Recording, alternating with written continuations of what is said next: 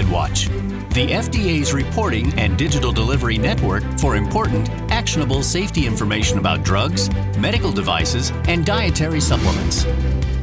MedWatch serves two key functions. It is the place to report adverse events and medical product problems to the FDA. And it is the place to get important clinical safety information for the medical products you prescribe, administer, or dispense every day. Reporting adverse events is easy online at www.fda.gov/medwatch. Why is MedWatch important?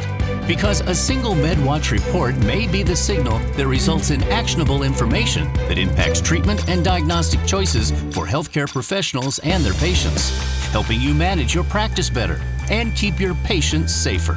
And MedWatch makes it easy for medical professionals to access unbiased FDA information instantly at the point of care.